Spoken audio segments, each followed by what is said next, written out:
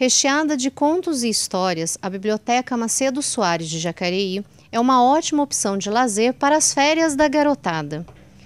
Com 900 metros quadrados de área construída, ela conta com acervo de mais de 50 mil livros e fica na Avenida 9 de Julho 215. Com uma localização privilegiada, a biblioteca que fica ao lado do Parque dos Eucaliptos recebe ao longo do ano visitas monitoradas com leitura e contação de histórias.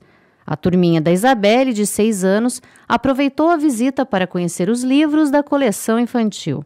Ah, da Mônica que eu li. Você gosta de gibi também, das historinhas em quadrinhos? Gosto.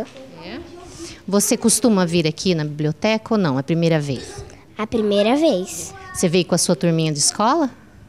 Sim. A biblioteca reúne uma grande diversidade de títulos em braille para atender os usuários com deficiência visual. Possui salas de leitura, informática com acesso à internet, exposições e oficinas.